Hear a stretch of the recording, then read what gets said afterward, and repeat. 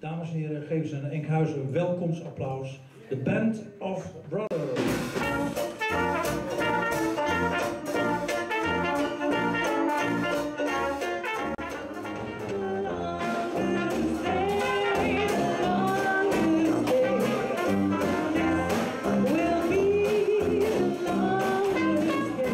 Dames en heren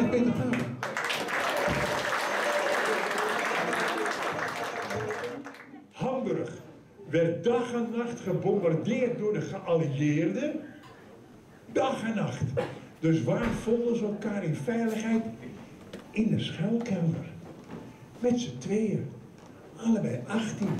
Maar van het een komt het ander in die veilige romantische hoekjes in die schuilkelder. Ik heb dus mijn leven te danken aan de Tweede Wereldoorlog.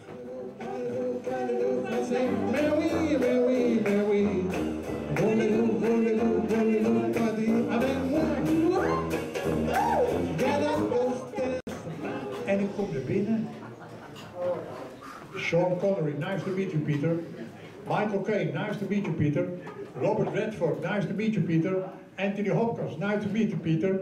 En het ging zo door. Al die sterren die allemaal een miljoen per rol kregen, die zaten er allemaal een beetje een te hebben. En ik werd de persoonlijke assistent van Ryan O'Neill, die speelde de jongste Amerikaanse generaal ooit, Gavin.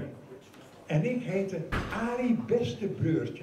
En dat was een historische, echt bestaande verzetstrijder die naar Engeland is gegaan om tegen Montgomery te vertellen dat die luchtlanding eigenlijk helemaal niet geschikt waren. Want bij die Secret-linie heet dat geloof ik, daar zaten al die Duitse SS-panzerdivisie was daar. En Arie was de breurtje, die kreeg te horen, don't spoil the party.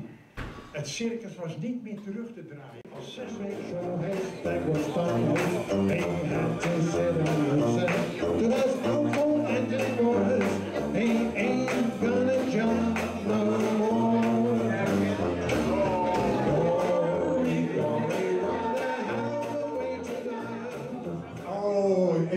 dat van mij gezien? Zit ik met Wilhelmina cake te eten. En ik oefen die, die, die, die scène, ik ben zo'n 10, 20 keer verkeerd, dat deed was niet goed. En ik voel er steeds meer bij te verzinnen. Op een laag die volle mond uh, met cake, maar dan mijn majesteit zag je en een benen door. Dit en dat